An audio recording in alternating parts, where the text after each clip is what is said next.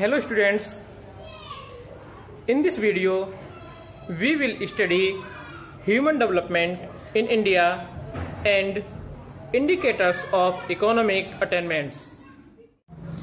Human development in India Bharat में मानव विकास India with a population over 1.20 billion is ranked 134 among 172 countries of the world in terms of Human Development Index HDI with the composite HDI value of 0.547 India finds herself grouped with countries showing medium human development UNDP 2011 UNDP 2011 के data के according 172 country में से India की जो HDI के base पर rank है वो 134 है और इंडिया की एच वैल्यू 0.547 है ये डाटा है 2011 का।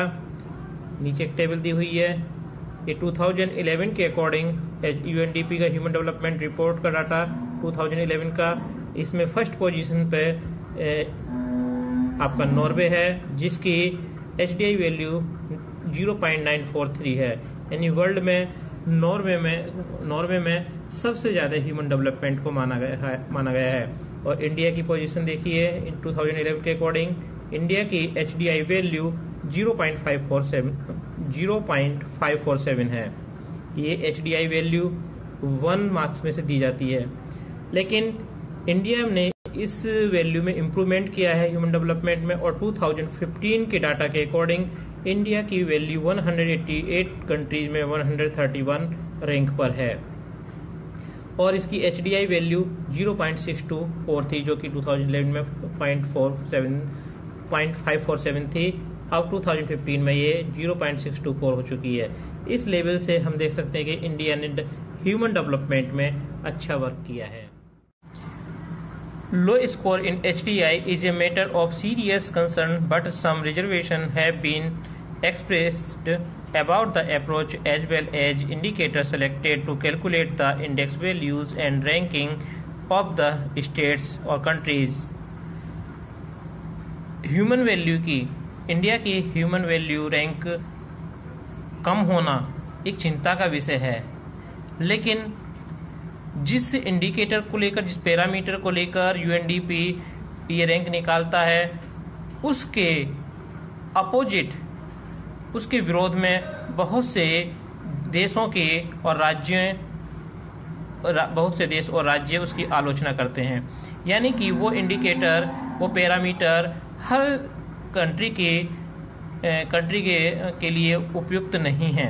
इसीलिए उनकी आलोचना की जाती है। जिन पैरामीटर्स को लेकर यूएनडीपी ह्यूमन डेवलपमेंट वैल्यू निकालता है, उससे अदर्स भी कुछ फैक्टर्स हैं। Some factors that are very crucial in determining the nature of human development इनसे अदर भी कुछ फैक्टर्स हैं जो कि ह्यूमन डेवलपमेंट के नेचर में इम्पोर्टेंट भूमिका निभाते हैं।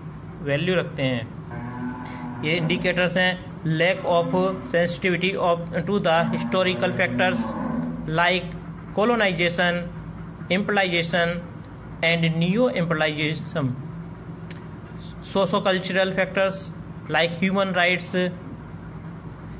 violence social discrimination on the basis of the race religion gender and the caste social problems like crimes tourism and war and the political factors like nature of the states, forms of the government, democracy या dictatorship किस type की government है level of empowerment are some factors ये कुछ factors हैं जो कि human development को प्रभावित करते हैं जैसे कि उपनिवेशवाद साम्राज्यवाद नव साम्राज्यवाद ऐतिहासिक कारक मानवाधिकार का उल्लंघन जाति धर्म लिंग आदि भेदभाव आतंकवाद टूरिज़्म आदि समस्याएँ, ये किसी भी कंट्री के ह्यूमन डेवलपमेंट को, मानव विकास को प्रभावित करने वाले कारक हैं, जिनका यूएनडीपी की रिपोर्ट में कोई वैल्यू नहीं दी जाती। इसीलिए विभिन्न देशों द्वारा इसकी आलोचना, इनके पैरामीटर्स की आलोचनाएँ की जाती हैं। स्टूडेंट्स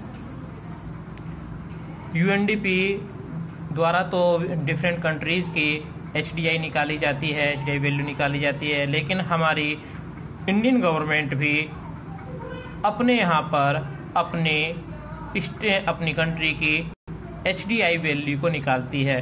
तो हमारे यहाँ पर प्लानिंग कमीशन ऑफ़ इंडिया इस काम को करता है।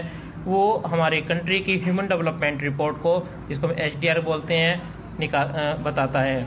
इससे other it use states and the union territories as the units of analysis subsequently each state government also started preparing the state level of human development reports using the districts as the units of analysis इससे other, हमारे यहाँ पर different राज्यों ने भी अपने अपने यहाँ पर राज्य जिला स्तर पर डिस्ट्रिक्ट लेवल पर यू एच डी आई निकालनी आरंभ कर दी है।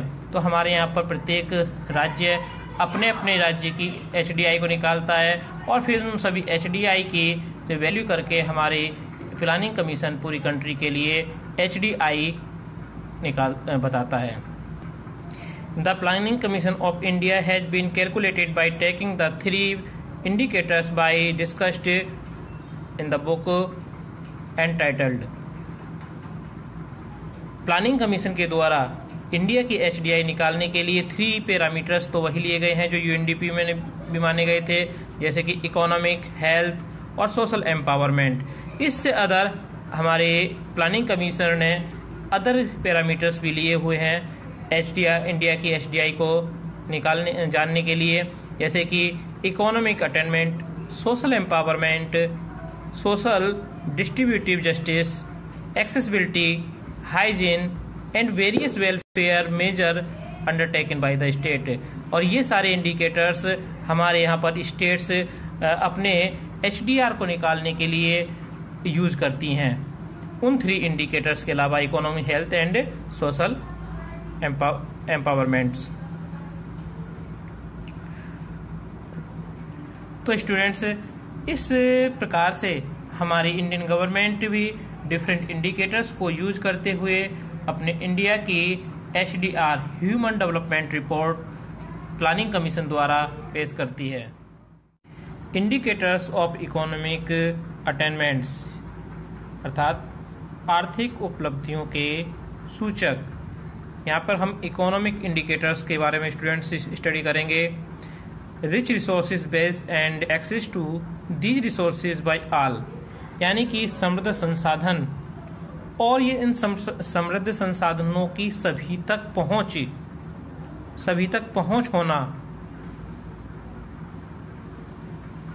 किस तक पहुँच होना? पुअर लोग पीपल्स तक डाउन ट्रोडन दलित तक, दलितों तक एंड द मार्जिनलाइज और मार्जिनलाइज तक पीपल्स तक। यानी कि इन समृद्ध संसाधनों की उन सभी पिछड़े लोगों तक पहुँच होना ही key to productivity productivity well being and human development human development यानी मानव विकास की कुंजी है। यानी कि मानव विकास तभी होगा जब समृद्ध संसाधनों की सभी तक पहुँच होंगी और गरीब लोगों को भी इसका बेनिफिट मिल पाएगा। तो यहाँ पर बात करते हैं हम स्टूडेंट्स आर्थिक इंडिकेटर्स की इकोनॉमिक इंडिकेटर्स की। तो यहाँ पर इकोनॉमिक इंडिकेटर्स कैसे जान सकते हैं? यहाँ पर हम इसको इनकम के द्वारा जानते हैं और यहाँ पर इसको और अच्छी तरह से इस इजी वे में जानने के लिए इस इनकम को हम स्टडी करते हैं जी एनपी के रूप में। Gross national product G N P and its per capita availability are taken as the measure to access the resource base endowment of any country यानी कि किसी देश के विकास को नापने के लिए हम वहाँ की ग्रोस नेशनल प्रोडक्ट की स्टडी कर सकते हैं। फॉर इंडिया इंडिया के लिए three thousand two hundred thousand crore and accordingly per capita income rupees twenty thousand eight hundred thirteen at current price यदि हम देखें इंडिया की जीडीपी 3,200,000 करोड़ की थी और यहाँ पर इंडिया की पर कैपिटा इनकम 20,813 है।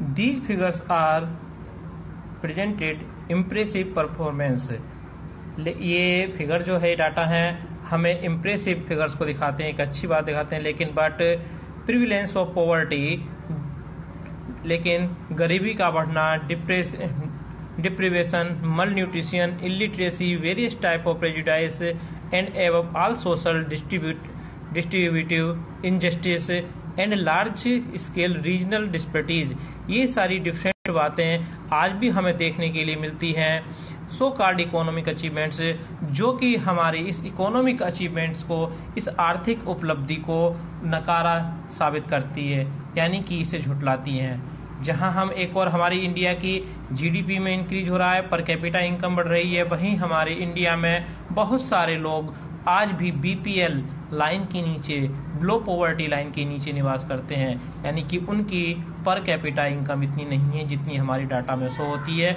यह बिलो पॉवर्टी लाइन के नीचे रहने वाले लोग। लोगों को से, को देखकर हमें इस इंडिया की ये जो डाटा है, ये गलत दिखाई देते हैं। ये सही जानकारी नहीं दे पाते इंडिया के वास्तविक ह्यूमन डेवलपमेंट की। स्टूडेंट्स यदि हम इंडिया में डिफरेंट स्टेट स्टेट की इकोनॉमी या जीडीपी की स्टेट वाइज स्टडी करें तो हमें यहाँ पर इकोनॉमी में रीजनल वेरिएशन देखने के लिए मिलता है। There are few developed states यहाँ पर कुछ डेवलप्ड स्टेट हैं, जैसे कि Maharashtra, Punjab, Haryana, Gujarat and Delhi that have per capital income more than four thousand rupees इनकी per capital income four thousand rupees से ज़्यादा है, अधिक है। यह फिगर है 1980 टू 81 की। आपकी नहीं है, ये 80 81 की स्टूडेंट ये ध्यान रखना है आपको। And per capita and there are large number of poorer states इसके अलावा इंडिया में बहुत सारी पुरर स्टेट्स भी हैं, गरीब स्टेट्स हैं लाइक उत्तर प्रदेश, जैसे कि Bihar Uttar Pradesh, Bihar, Orissa, Madhya Pradesh, Assam, Jammu and Kashmir etcetera which are recorded per capita income less than two thousand rupees जिनकी per capita income two thousand rupees से भी कम है। तो देखिए students इस तरीके से हमें इकोनॉमी में रीजनल वेरिएशन भी देखने के लिए मिलता है। तो 1981 का 80 और 81 का डाटा है। लेकिन आज भी यहाँ पर ये वेरिएशन देखने के लिए मिलता है। अगर हम लेटेस्ट करंट का स्टडी करें तो जो डेवलप्ड स्टेट्स हैं, उनकी per capita income per month six hundred rupees हैं। और जो पोरर स्टेट्स हैं, उनकी per capita income five hundred twenty rupee per capita per month से भी कम है, जैसे कि उत्तर प्रदेश, बिहार आदि। तो स्टूडेंट्स इस बात से पता चलता है these variation are indicative of some other deep seated economic problem like poverty unemployment and under employment और ये सिचुएशन ये गरीबी की सिचुएशन और भी गंभीर तब हो जाती है जब हमें वहाँ पर बहुत सारी गरीबी की प्रॉब्लम बेरोजगारी की प्रॉब्लम देखने के लिए मिलती है। जिन स्टेट्स में बेरोजगारी है, वहाँ पर गरीबी है वहाँ पर उनकी जीडीपी भी कम है और इनकम भी कम हमें देखने के लिए मिलती है। स्टूडेंट्स ये आप जानते ही सिंपल सा वे है कि जिस जहाँ की इनकम ज़्यादा होगी तो उनकी एक्सपेंडिचर की यानी खर्च करने की क्षमता भी अधिक होगी। इनकम अधिक होने पर खर्च करने की क्षमता, सामर्थ्य अधिक होगा तो उनका डेवलपमेंट भी अधिक हो पाएगा। तो यहाँ पे हमने देखा कि किस टाइप से वेरिएशन है। इकोनॉमी में The disaggregated data of the poverty for the states show that there are states like Odisha and Bihar which have recorded more than 40% of the population living below poverty line. इस data से हमें पता चलता है इधर data दिया है अभी दिखाऊँगा स्टूडेंट्स इससे हमें पता चल रहा है कि स्टेट्स जो हैं आपके उड़ीसा बिहार यहाँ पर 40 परसेंट से ज़्यादा पॉपुलेशन बिलो पॉवर्टी लाइन यानी पॉवर्टी लाइन के नीचे रहती है और आपकी अदर स्टेट जैसे कि मध्य प्रदेश, सिक्किम, आसाम, त्रिपुरा, अरुणाचल प्रदेश, मेघालय, नागालैंड, ये वो स्टेट हैं जहाँ की 30 परसेंट तक पॉपुलेशन बिलो पॉवर्टी लाइन के नीचे पाई जाती है। बिलो पॉवर्टी लाइन यानी कि गरीबी रेखा। यहाँ पे स्टूडेंट्स टेबल को देख लीजिए आप। ये टेबल है दी हुई आपको 19 और 2000 की। यहाँ पर है स्टेट्स नेम और यहाँ पर है percentage of population below poverty line कितने परसेंट पॉपुलेशन पॉवर्टी लाइन के नीचे निवास करती है। ये देखिए उत्तर प्रदेश। उत्तर प्रदेश में 31.15 percent population below poverty line है लाइन में है और ये देखिए गोवा। गोवा में केवल 4.40 percent population below poverty line के नीचे है। यहाँ पर आपको अब बिहार में देखिएगा स्टूडेंट्स बिहार में 42.60 percent population below poverty line के नीचे निवास करती है, यानी गरीबी रेखा के नीचे है।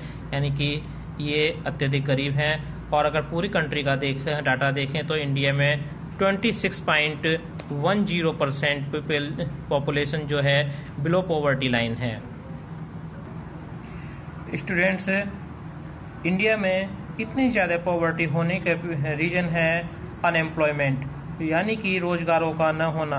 रोजगारों के अभाव में हमारे यहाँ पर इतनी बड़ी संख्या में लोग गरीबी रेखा के नीचे जीते हैं। और जिन स्टेट्स में पॉवर्टी रेट परसेंटेज ज़्यादा है, उन स्टेट्स में जॉब्स की बहुत ज़्यादा कमी है अपॉर्चुनिटीज़ की कमी है, वहाँ पर एम्प्लॉयमेंट नहीं है, जिस रीजन से वहाँ पर पॉवर्टी अधिक देखने के लिए मिलती है। तो ये तो अनएम्प्लॉयमेंट एक इम्पोर्टेंट रीजन है, एक हाइयर पॉवर्टी का इंडिया में। Students employment rate of educated youth in 25 percent India में एम्प्लॉयमेंट रेट 25 परसेंट है एजुकेटेड पर्सन की। यानी कि भारत में जितने युवा पढ़ते हैं एजुकेशन लेते हैं हायर एजुकेशन उनको, उन्हें केवल, उनमें से केवल 25 परसेंट लोगों को ही जॉब मिल पाती है।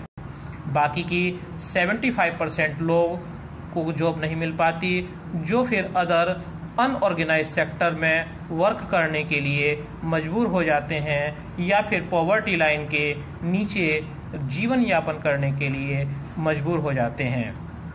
तो स्टूडेंट्स देखा आपने किस टाइप से पढ़े, हमारे यहाँ पर पढ़े लिखे रोजगारों में, युवा यूथ में हंड्रेड केवल 25 परसेंट लोगों को ही जॉब मिल पाती है और 75 परसेंट लोग विदाउट बिना जॉब के रह जाते हैं जॉबलेस रह जाते हैं। यही रीजन है हमारे यहाँ पर पॉवर्टी के ज़्यादा होने का, गरीबी ज़्यादा होने